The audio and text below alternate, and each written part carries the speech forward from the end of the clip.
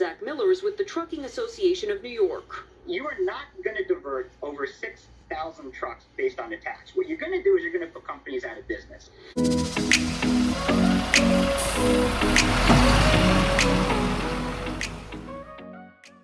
and deliveries. As CBS 2's Lisa Rozner reports, many of those trucks heading to Midtown could now pay a big price. The Department of Transportation has said one of the top three zip codes for daily freight deliveries is in Midtown Manhattan next to the Lincoln Tunnel.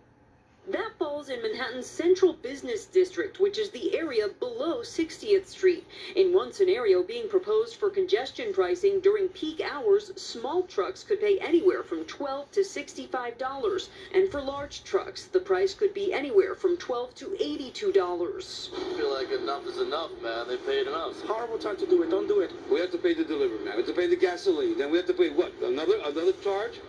I mean, how do you think we feel? The proposal suggests any cost increase would be minimal because it will be divided among several customers that trucks deliver to. The report does acknowledge that some commodity sectors like construction materials, electronics, and beverages are more prone to increases due to less competition within the delivery market. I have spoken to some contractors who've expressed concerns that that cost is going to be passed on to consumers.